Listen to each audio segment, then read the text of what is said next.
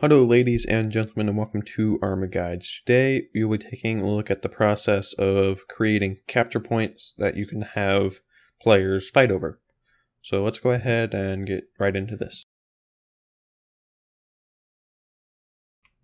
The first thing you're going to need is a sector module. So go up to your systems and then go to multiplayer and then select sector and just place this down now you need to edit the attributes of this for to function as intended. So double left click on it to open its attributes. And there will be two things you're going to need to worry about in here. The first is on their system transformation and the rest is on their system specific sector. So first let's go ahead and look at transformation. The thing you need to worry about in here is the size. This is where you designate how big this will be. This is in meters. And if I set this to 100, you can see it's now an oval it's 100 meters in length and 50 meters wide, and the height goes all the way up to the very top of the world. And then if I set this back to 50, then it goes back to being a circle.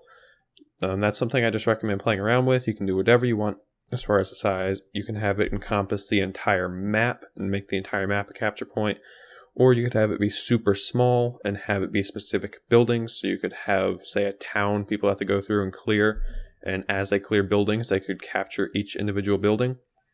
And of course, as you can see, you have this nice gray circle that indicates what all is in the sector and what all is not. And of course, this only shows up in the Eden editor. This will not actually be visible in the mission. So once you have figured that out, you're going to want to move on to system specific sector. And these are all the rest of the settings for this module. So the name, this is the name that will show up to players and on the map for the actual capture point. You can do whatever you want for this. For the sake of this guide, I will simply be using test.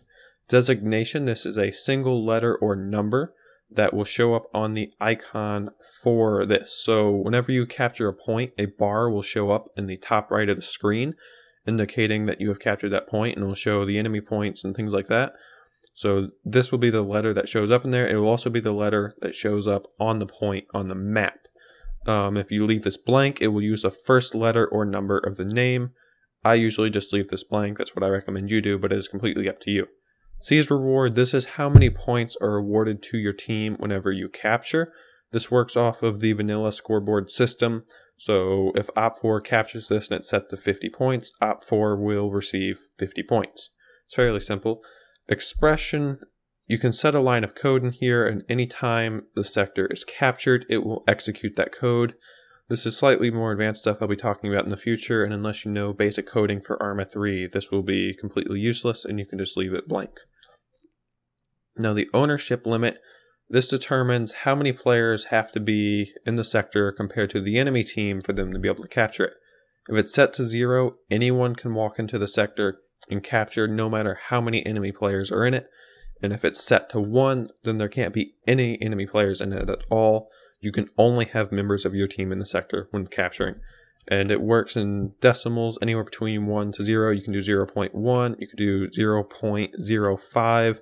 Completely up to you. I recommend just playing around with that. I usually set this to 1. It's what I find to work best. It works very well. It's simplistic and in the end leads to a lot more firefights, especially when fighting over these sectors, which I like to see that in my missions. And then default owner, this allows you to set someone who by default will have control of the sector whenever the mission starts. I like to leave this as nobody unless I am making capturable starting positions for the server. So say I had a big military base you start at and it can be captured by the enemy. I would of course have it be controlled by say BLUFOR by default and then someone else could come and capture it. But if you're doing something different, I recommend just leaving this as nobody. And task owners, this basically assigns the team a task, telling them where they need to go. It creates a marker on the map, creates a marker they can see in game, telling them how far they are from it. And they can open up their journal and view the task. They can view the title, they can view the description.